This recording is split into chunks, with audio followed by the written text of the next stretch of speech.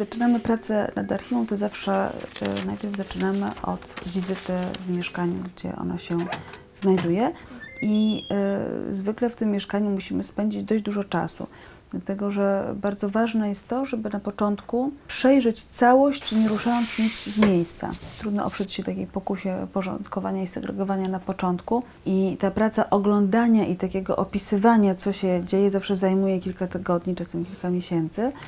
Mm, dlatego, że jak się, dopiero jak się przejrzy całą spuściznę, to można wymyśleć, jak ją uporządkować i można zrobić sensowny plan opracowania, czyli na przykład zdecydować, co opracowujemy na samym początku, co jest najważniejsze, e, albo co wymaga pilnej interwencji, na przykład konserwatora.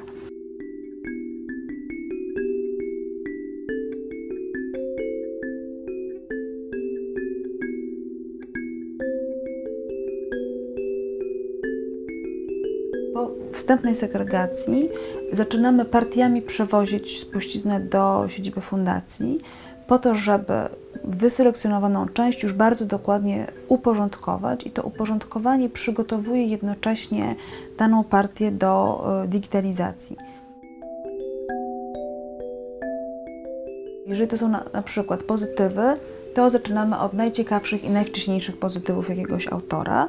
Układamy je chronologicznie, e, według jakiejś zwykle sekwencji czy na przykład konkretny cykl, czy konkretny temat jest razem uporządkowany. Niemniej jednak to jest zawsze zależne od tego, jak pracował autor. Możemy się każdorazowo dostosować trochę do specyfiki e, danego, danego zbioru.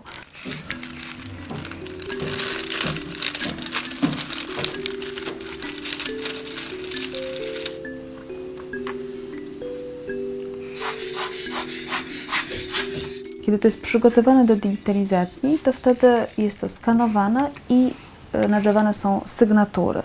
I to już jest taki proces trochę tego jakby archiwizowania czy umuzealniania, bo przez to to jest pierwszy krok do tego, żeby powstał um, inwentarz. W momencie, kiedy to jest osygnaturowane, kiedy odbitki są, ma, mają już swoje sygnatury, kiedy skan ma swoją sygnaturę, one są tożsame, to wtedy następuje przepakowanie um, odbitek bądź negatywów w odpowiednie pudełka, odpowiednie obwoluty.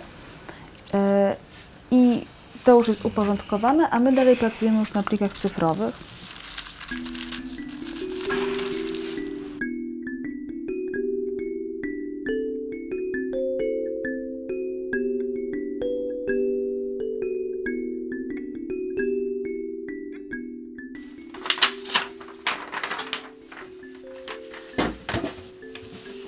Archiwa y, tych różnych fotografów czy autorów są bardzo zróżnicowane i w przypadku niektórych autorów one są stricte fotograficzne, czyli to są przede wszystkim negatywy, stykówki, pozytywy, odbitki wystawiennicze, odbitki wydawnicze, plus zwykle to jest jakaś biblioteka.